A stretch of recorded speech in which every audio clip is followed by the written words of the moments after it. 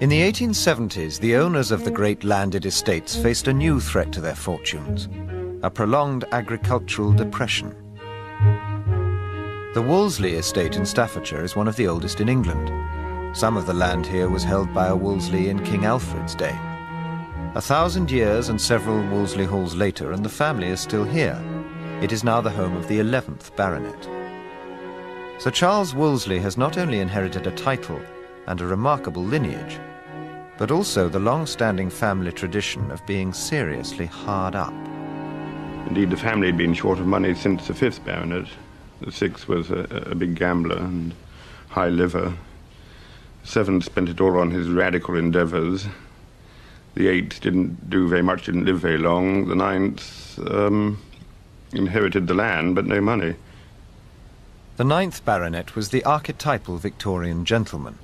A brilliant horseman, he played in the first ever polo championship in this country. Sir Charles served in the Staffordshire Yeomanry. The present Sir Charles, his great-grandson, was in the same regiment. It's just one of many curious parallels between the lives of the two Sir Charleses. He inherited about the same age as I did. Uh, he inherited debts rather than capital. Apart from the land, I did the same for estate duty.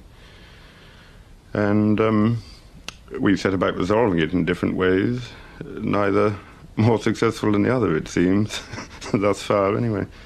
The agricultural depression forced the ninth baronet to sell off property and land from the family estate.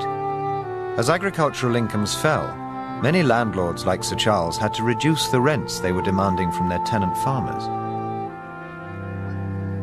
The garden park business which the present Sir Charles started was a victim of the 1980s recession, and today the entire Wolseley estate in the family for over 1,000 years, is on the market. And the parallels between the two Sir Charleses go on. Sir Charles the Ninth Baronet married an American, Anna Murphy of San Francisco. And it was the story of that marriage which brought the present Sir Charles together with his American wife, Jeannie Brown.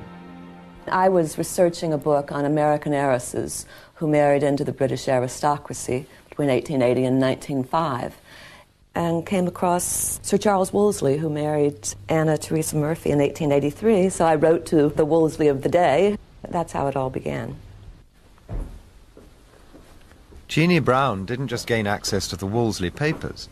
She fell in love with Sir Charles and then married him to become the second American Lady Wolseley. The family letters she is still studying confirm the ninth baronet's motive for marrying the American Anna Murphy. He was just chronically short of money. He would never have remotely considered getting a job. A gentleman sort of didn't do that. And so one of the few options left to him, other than selling off the estate, um, was finding someone to marry uh, who had a